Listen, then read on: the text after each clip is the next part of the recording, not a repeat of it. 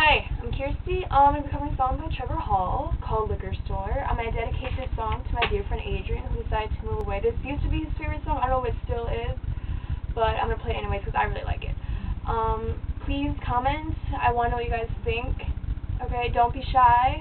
Alright? If you want to write something crazy on there like, um, I don't know, Where's the Muffin Man or, I don't know something, anything, anything, anything? Do it. Hey, do it. Do it. Oh, is how do you motherfucker me. Anyways, this is Liquor Store. Hope you enjoy it.